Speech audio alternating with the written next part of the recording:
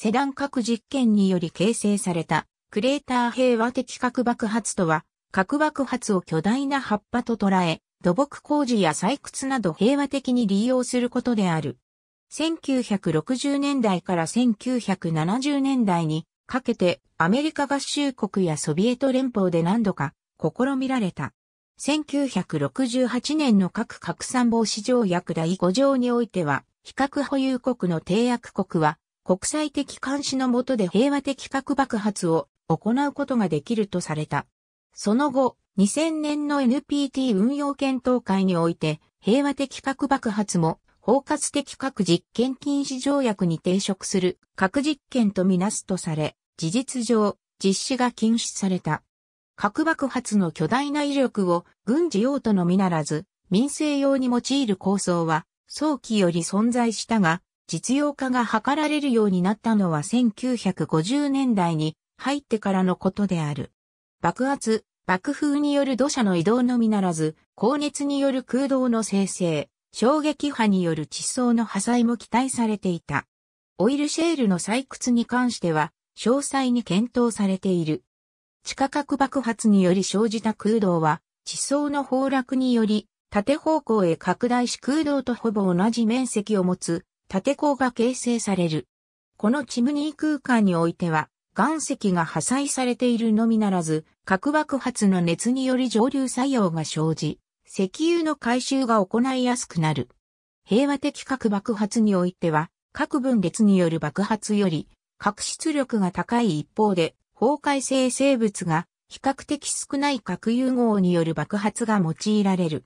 1958年には、チャリオット作戦の名称で、アラスカ州に平和的核爆発により港を掘削する計画があったが、これは実行されなかった。次にプラウシェア作戦の名称で1961年から1973年にかけて28回の核爆発が行われた。ネバダ核実験場で核実験が行われ、1962年7月6日には、セダン核実験により、ネバダ核実験場において、クレーター作成の実験が行われている。第2パナマ運河の掘削や油田開発などに用いることが構想されたが、放射能汚染問題を解決できず、1977年には予算が打ち切られ、実用化話されなかった。ソビエト連邦では国家経済のための核爆発の名称で1965年から1988年にかけて239回の平和的核爆発の実験が行われた。目的はアメリカ合衆国と同じく土木工事目的が中心である。1965年、実験的に茶岩核実験が行われ貯水池が形成された。1976年にはシュベリアから北極海に注ぐ河川を逆流させ中央アジアの乾燥地帯に注ぐプロジェクトを1981年からの第11次5カ年計画に間に合わせることを決定した。同年、ペチョラ川と鎌川間を3個の核爆薬で掘削し、深さ3から5メートル、幅350メートル、長さ700メートルの溝が形成された。しかし海外からの批判を受け、プロジェクトは中止となった。ロシア国内ではガス田火災消火や化学兵器の廃棄に有効だと唱える者もいる。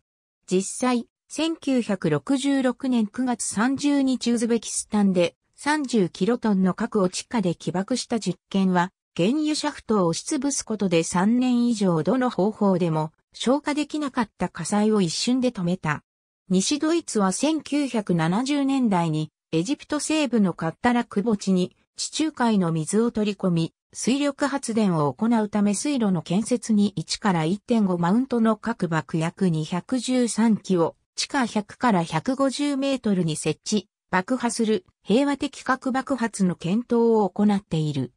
従来工法でトンネルを開削する案に対し、各掘削による水路建設案は15%の費用で済む一方で2倍の流量を実現できると算定された。このほか、倉地峡での運河の建設計画において、の利用が検討された。このために、インドでは1974年に平和的核実験を実施している。1958年、日本住宅公団初代。これは、暴走丘陵の山々を崩して、埋め立て用の土を確保。それを使い、東京湾の東半分をすべて埋め立て、ここに皇居を含めた首都機能を移転、新首都、大和を建設するという壮大な構想だった。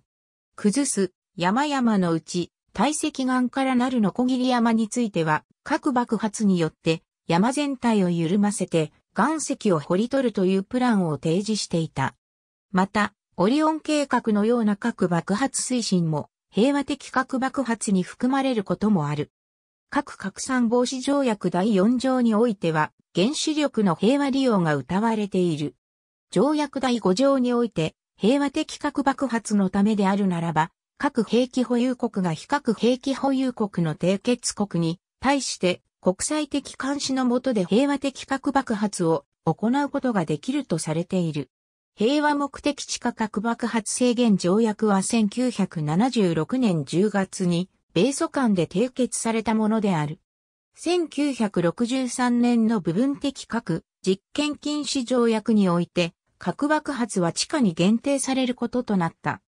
平和目的地下核爆発制限条約では、さらに平和目的であったとしても、個々の核爆発は150キロトンを超えるものではなく、連続した爆発においても、合計1500キロトンを超えないこと、連続した爆発においても、個々の爆発は150キロトンを超えないことが検証できるようにすることが求められた。これは1974年に合意された地下核実験制限条約と整合性を取るためのものである。ありがとうございます。